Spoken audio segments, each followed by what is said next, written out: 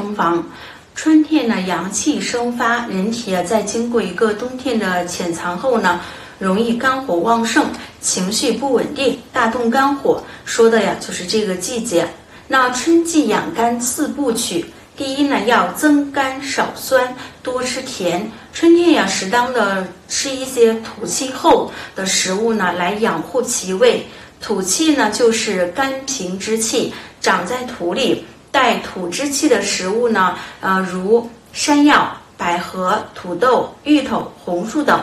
第二呢，要养肝血，靠睡眠。人卧则血归于肝，按时就寝，睡眠充足是养肝血、简单而行之有效的方法。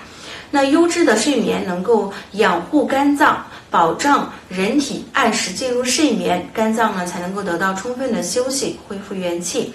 第三呢，生气伤肝，学会宣泄，肝郁化火。中医认为呢，肝喜调达舒畅，嗯，恼怒烦闷伤肝呢，会引发肝火。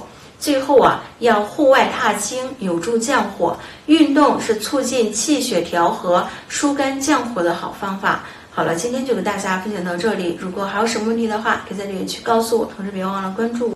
好看。